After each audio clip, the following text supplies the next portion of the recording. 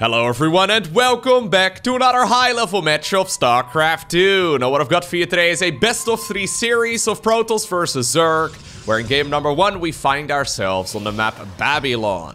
Playing right here with the red Protoss pieces, we have one of the Protoss legends who recently came back from his mandatory military service and he goes by the name of Stats.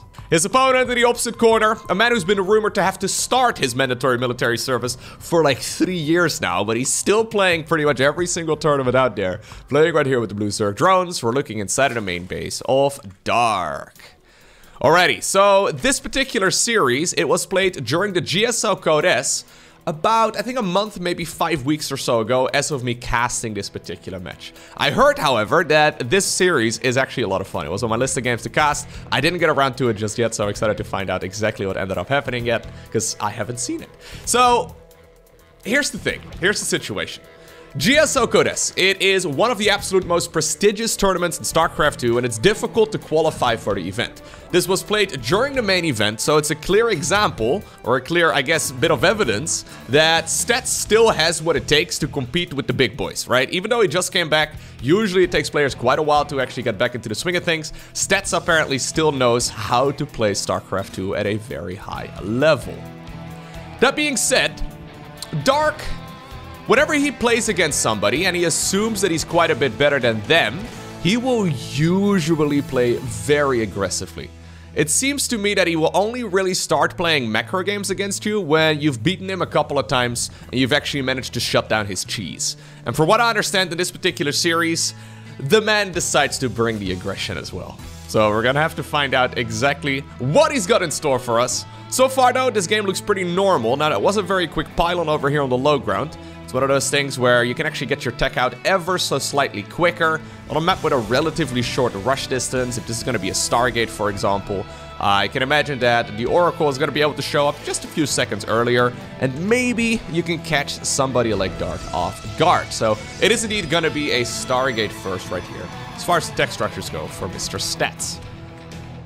Um, Got a feeling that the Cyber Core should have been one hex closer to this corner over here. Should still be okay, but you gotta be very careful, man. You should definitely not be leaving any, well, more than one gap in your wall off, because it's very easy to accidentally have a bunch of Zerglings running into your base. So far though, third base going up right here. Dark, of course, was playing that uh, expansion chicken game with the probe earlier. Eventually, the natural right here was started up. Alright. Stats has now scouted his opponent's third base as well. Stargate is going to finish up. What's it going to be? It's going to be an Oracle. Okay. Oracle makes the most sense here. He'll be flying that across the map nice and early. Okay, triple adept here as well. Stats just playing a normal game. So that's really what he... Well, I mean... it, always, it always feels kind of funny to call something normal but one of the reasons that we have a so-called standard, a so-called normal in StarCraft 2, is because of players like Stats. These players are very much so the reason why the normal is the normal, because they played this game at a high level for many years and they figure out, uh, they figured out rather, what the very best way of playing the game is. And while maybe Stats was not playing the game, well, very much for like two years, the strategies, I mean, while some of the details have changed, broadly speaking, they're still mostly the same. Okay. So, yeah, that, okay, that wall off was a little cursed. I was gonna say, he decided to plug that hole right there with a pylon. That is a moment, though, where you're looking at this as a Zerky, you're like, okay, I got you, man. Like, if you, I feel like if you dark, if, if you play against Dark and you are forced to re-wall your own natural, immediately Dark's gonna be like, yo, this guy, he has no clue what he's doing. He can't even get his wall off right. I think Zerglings, if that pylon wasn't there, could probably squeeze in between. Anyways, so far, absolutely zero workers killed. Dark has made a group of lings, so I guess that's effectively shutting down some of the drones that could have been. But so far, no drone losses just yet on the side of the circle though. Yeah, right now. Okay, that's four, that's five. Nicely done right there by Stats. That's the type of damage we want to see. He did take a lot of damage, a lot of hull damage as well on one of those oracles. Only 12 HP remains. And while the shield will regenerate, it's going to be a little while, but here we go. Okay. Dark decides to plop down the Nydus network. Let's see. So, the Nydus network, sure everybody knows, but you can transport units from one side of the map straight towards the other side of the map. Normally it's accompanied with roaches, so roaches, swarm host, that sort of thing. Not the case this time around. Apparently Dark decides to just go, I guess, Queens and Zerglings. He's even going to evacuate that base of his.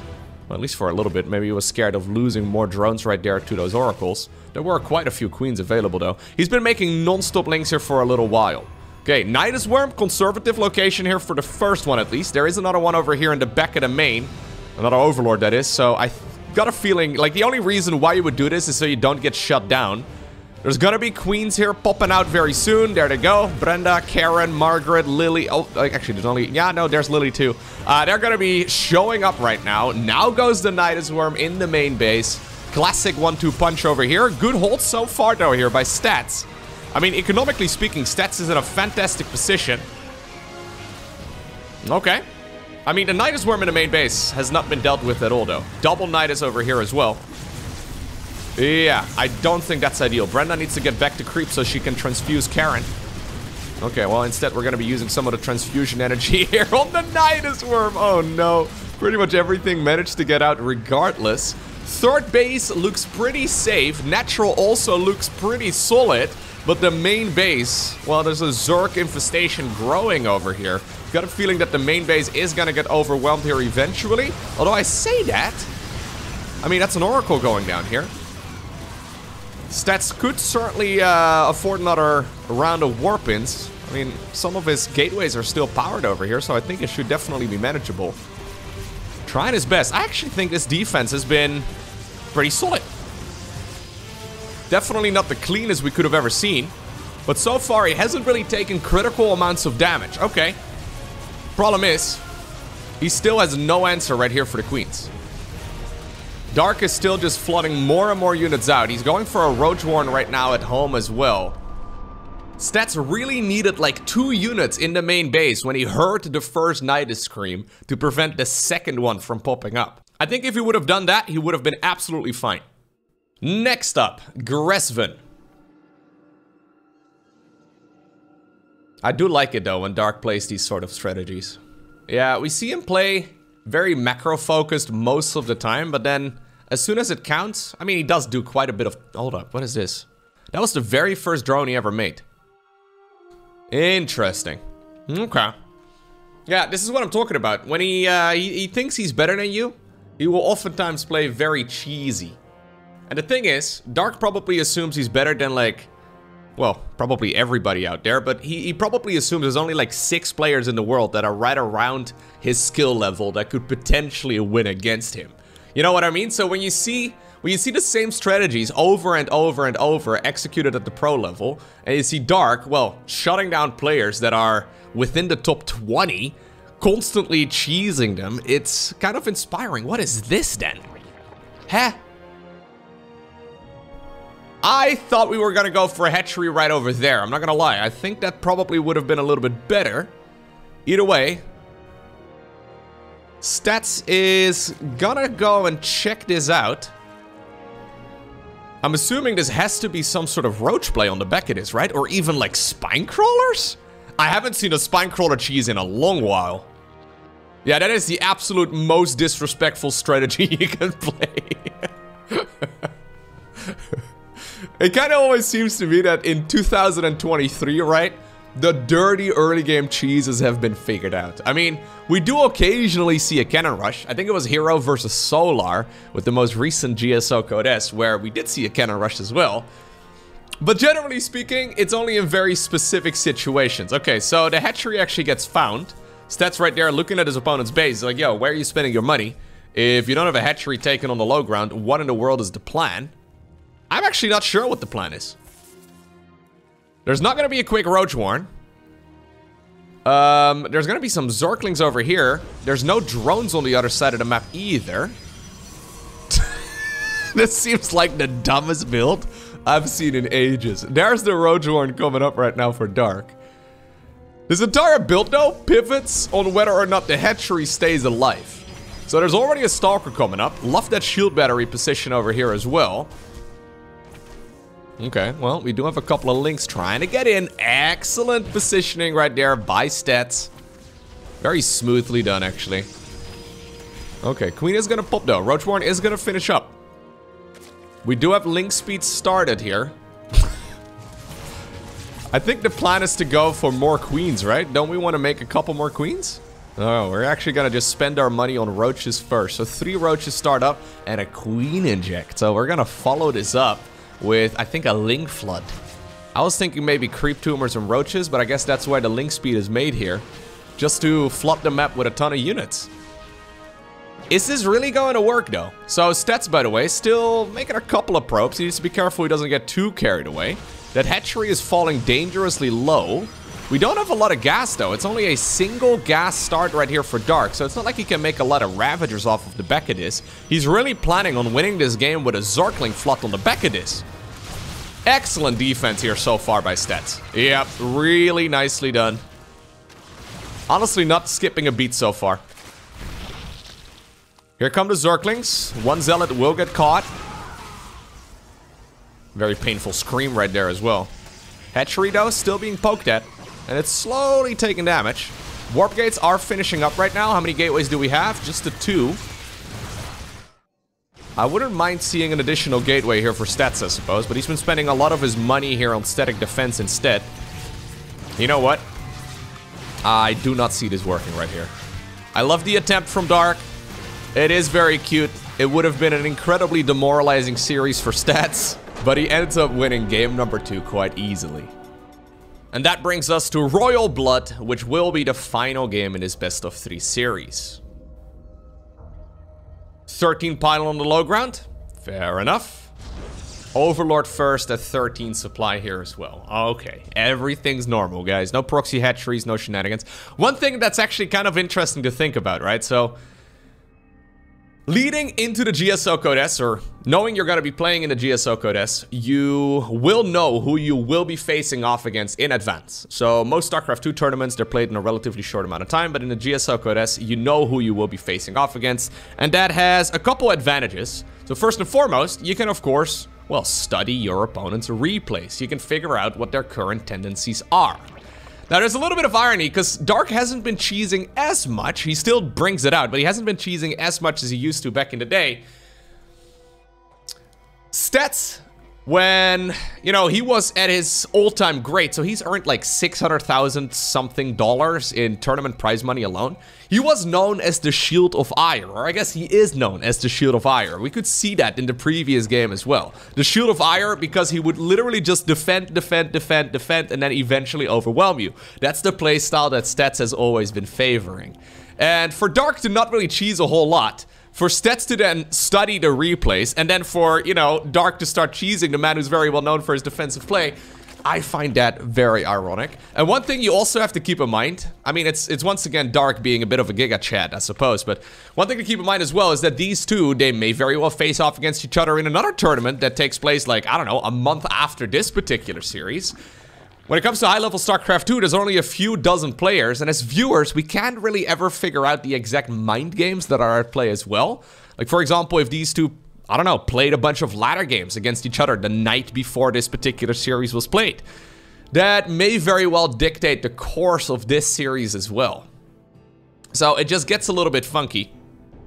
It just gets a little bit funky in general whenever you have these, uh, yeah, these tournament matches going on. Anyways, Dark always seems, at least mentally, a very, very strong player. Doesn't really seem to care too much about what you think. I mean, I'm calling it maybe sometimes disrespectful, quote-unquote disrespectful, some of the strategies that he chooses, but obviously Dark doesn't care. He's just trying to win the game. I heard a story one time, and I don't even know if this is a true story, but I've heard this repeated over and over and over again that one day on stream, when Dark was streaming, one of his fans wanted to pay money to play a game against Dark. So, I don't know, I think it was like a hundred bucks or whatever. They donated, like, hey, can I play a game against you? And Dark was like, sure, I'll do it. So, this player, very excited about him, right? Very excited about the situation. He's like, oh man, I get to play a game with one of the greatest players of all time. Now, word on the street has it that Dark 12 pulled that guy and won the game within two minutes. I don't know if this story is true, but it very much so is a Dark story, okay? I would not be surprised in the slightest. He's like, yo, thank you, see you later, bye. Easiest money I've ever earned in my life. Uh, the guy definitely does have uh, some rockstar status sometimes. Anyways, whole lot of Zerglings coming up right here for Dark. Stargate opener once again here for stats. Lings do manage to get into the base. Not what we're looking for here. Oracle now used to, yeah. Forced to use the pulsar beam inside of the main. That's really rough. Not only is this annoying to have to deal with, right? But this also shuts down the Protoss aggression. Look at his Oracle right now. One energy. It's out of energy. It takes energy to activate the pulsar beam. So that's the actual, you know, attack that it uses to harass drones. And for the foreseeable future, this Oracle is gonna be, well, just hanging out. Sniffing the roses or whatever. Uh, we're on royal blood. There must be flowers somewhere. I don't know. There's a lot of gold. A lot of ornate, you know, decorations, but... Look at that. We even have some, uh, what do you call that? Topiary? That's the word that pops into my head. Is that the correct word? Don't think that's the word I've ever used before. I don't even know if that's how you pronounce it. Maybe one of those words I've ever... I've only ever seen it written down. Anyways, Lair coming up right here for Dark. 4 minutes and 20-ish seconds. Nothing all too crazy. Nothing all too strange. Very similar, though, to game number one. A lot of lings, once again, just running around, though. Third Nexus will be, yeah, pretty well secured here. Roach coming up. Second gas coming up as well. Well, actually, no. That is... six gas?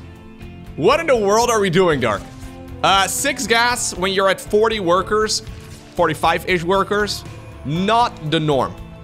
Usually what you do instead is you go for, uh, well, the mineral line first, and then you add on some additional gas. Maybe one additional gas wouldn't be so strange. Okay. He does end up losing one of the oracles there. Deals a bunch of damage, though, to the drones. Notice as well that Dark is skipping Spore Crawlers here. No idea why. There's the Nydus network once again, and it does get scouted. So, Stats does have vision right here of the Nydus Worm. Okay. So, what exactly is the plan? We're gonna once again just rush our opponent? Please? Okay, yeah, have some units in the main base.